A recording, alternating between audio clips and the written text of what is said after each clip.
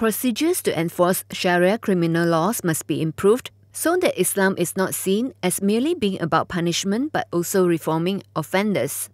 Minister in the Prime Minister's Department, Dato Dr. Mujahid Yusof Rawa said participants at the roundtable discussion he attended agreed that repentance and reform should be key principles in enforcement of Islamic criminal laws. Konsep rahmatan lil alamin turut mengambil kira penjagaan keaiban manusia.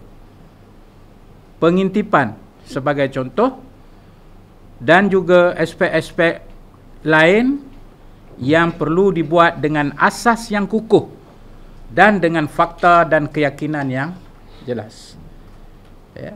So that is also the new way forward untuk penguatkuasaan uh, jenayah syariah supaya tidak disalahgunakan, disalahertikan atas alasan mengintip tetapi tidak mempunyai alasan uh, tidak mempunyai bukti-bukti yang yang yang kukuh.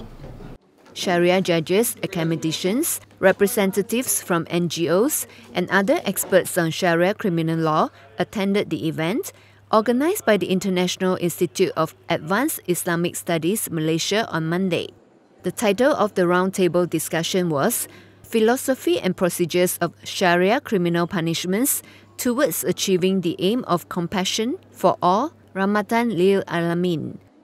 Dr. Mujahid said there should be a shift in approach from taking action against offenders merely to punish them.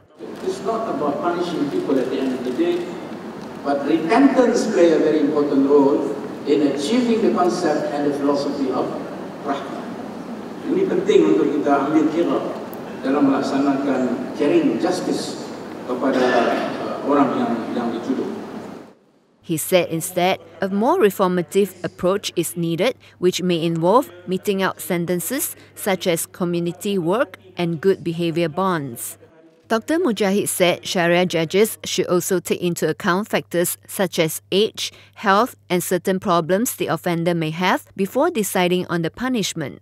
He said a follow up meeting with other ulama, intellectuals, and NGOs on how to further improve the enforcement of Sharia criminal law will be held on Thursday, adding that he had already met and engaged with the Malay rulers on the question of Islamic administration that fall under their jurisdiction.